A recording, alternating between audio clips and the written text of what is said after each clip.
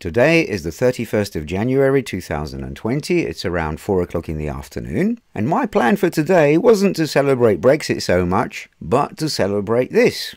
Now, you might be wondering what my girlfriend is doing here wearing a surgical mask. Last week I stocked up with all these various masks. I know they're not going to save my life, but it's better than nothing. And just because I had them tonight, our celebration with my girlfriend was going to be wearing masks and doing things that people who wear masks do if you get me. But then something spoilt the whole thing, and I went from this to this. And you may well ask, what happened? Why did you go from this to this?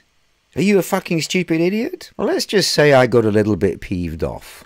Please sit down, resume your seats, put your flags away, you're leaving, and take them with you.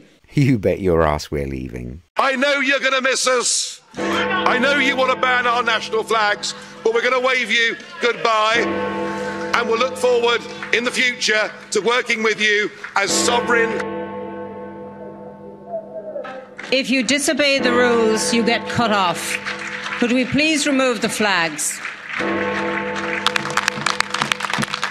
Mr Farage, could we remove the flags, please? That's it. It's all over. Finished. We've gone. Could I please ask for quiet?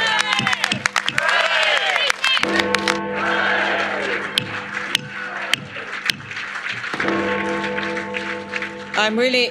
Please sit down, resume your seats, put your flags away, you're leaving, and take them with you if you are leaving now. And. Goodbye. Last but not least, there have been many a politician today on the various news channels, including conservatives, who've been making statements on the lines of, yeah, well, today it is a celebration, but it's going to be muted because half the country didn't vote for Brexit, and we have to be careful not to hurt their feelings and not to rub it in.